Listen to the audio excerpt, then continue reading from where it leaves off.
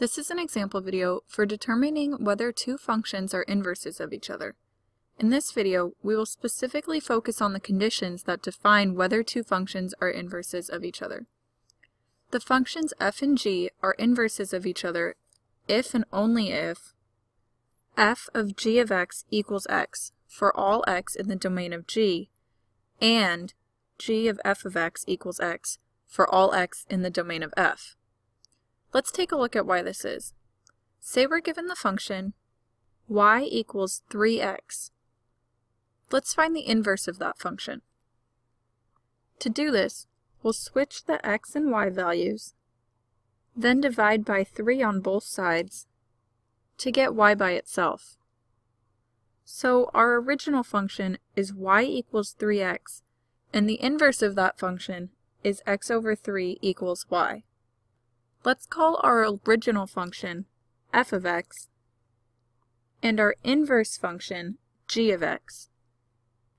In this case, we know the two functions are inverses of each other because we specifically found the inverse of the first function.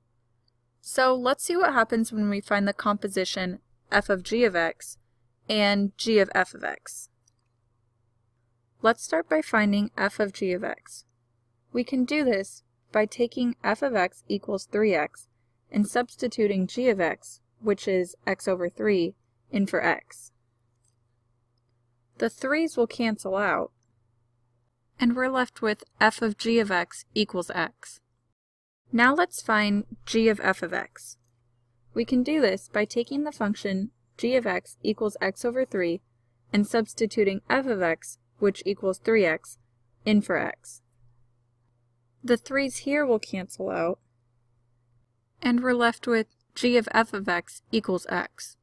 So here we see that both the composition f of g of x and the composition g of f of x equal x, because the two functions are inverses of each other and they undo each other. Let's try a different example. Now we're given the function y equals 2x plus 4. Let's find the inverse of this function. We'll start by swapping the y and x. Now we want to get y by itself, so we'll subtract 4 from both sides and divide both sides by 2.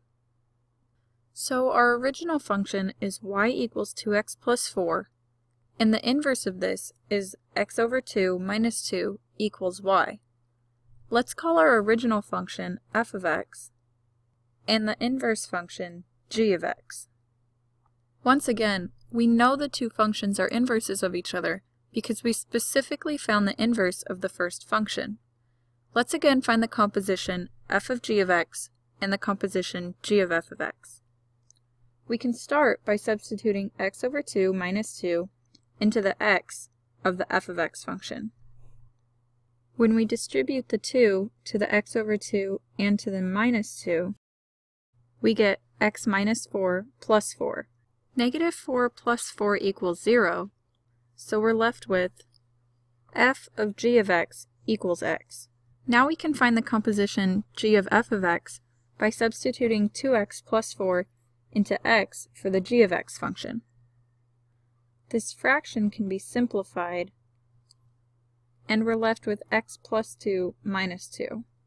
2 minus 2 is 0, so our final composition is g of f of x equals x.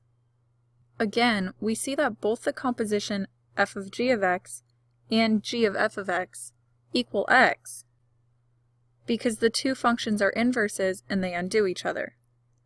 So when determining whether two functions are inverses of each other, we need to first find the compositions of the two functions. If both of the compositions equal positive x, then the two functions are inverses of each other.